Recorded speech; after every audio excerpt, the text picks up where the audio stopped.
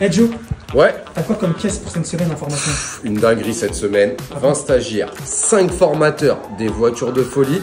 On a un Dodge Ram, on a une Mustang de 67, 66 pardon. On a une Clio 16S, une Alpha GTV, une Coccinelle. On a que des voitures de folie, c'est stupéfiant. Je vais te montrer tout de suite. Après, on va commencer à dire qu'il y a de l'abattage. 20 stagiaires, 5 formateurs. Je vais t'appeler tout de suite. Nassim, va chercher s'il te plaît un stagiaire et on va lui demander ensemble. Je vais tout de suite. Ah bah il est déjà là. Bah écoute, euh, moi j'étais un débutant, je savais pas du tout me servir d'une polisseuse.